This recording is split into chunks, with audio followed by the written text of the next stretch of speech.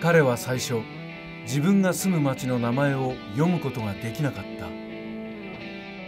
僕は県外から、えー、進学してきたんですが初め野々市市の漢字見た時に市が2つあるってことで野々市市とかかなって思ったんですけど実は野々市市ってところでそこにまず僕はびっくりしましたね。これは10代終わりから野々市市内の大学に通うために故郷を離れ野々市市で一人暮らしをしている学生のお話。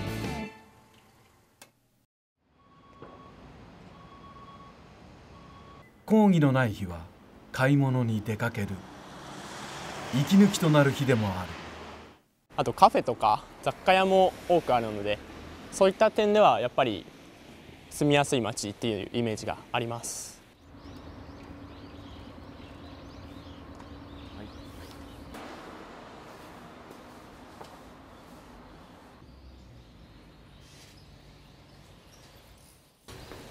そうですねやっぱりバスを使うことが多いんですけど金沢ものの市市は近いのですぐに行けますし、まあ、あと遊びに行く時とかはやっぱり例えば海であったり山の方山だったらスキー場だと思うんですけどそういうのにもバスをよく使っていますね。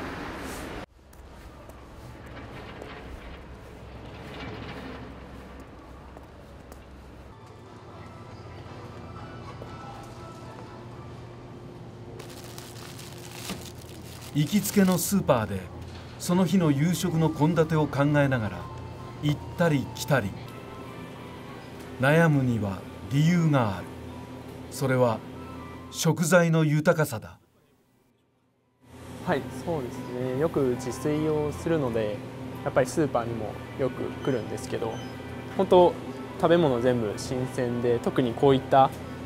魚もすごい新鮮でとても美味しくいただいてます。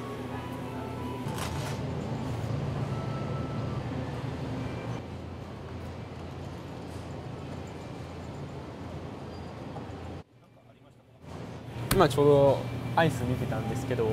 こんないろんなのあるの？すごくないですか？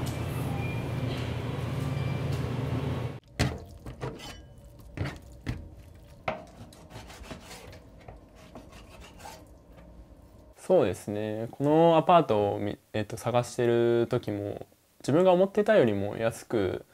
まあ、借りれてそれに加えてこのアパートの周辺もいろんなお店も立ち並んでいるのでとても便利で多分きっとお母さんとかお父さんとかも安心してるんじゃないかなと思ってます。そうですね。やっぱり自分と同じように、えー、いろんな店とかも近くにあって便利っていうのを自分も聞いていて、まあ、そういったところが若者が集まってくる、まあ、野々市の魅力であってそういった集まる理由なのかなと思います。わずか1年も経たず彼はこの町に居心地の良さを感じていた。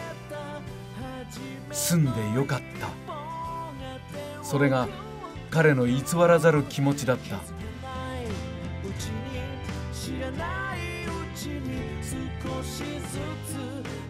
そうですね。多くのお店があってそこに行くアクセスも便利で、まあ、やっぱり僕みたいな若者にとっては新しいアクションをしたくなるような街と僕は思っています。